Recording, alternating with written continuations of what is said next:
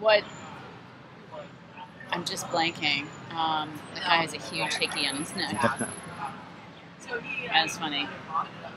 I presume it's that lady who gave it to him, but I don't know for sure. we don't know. Um,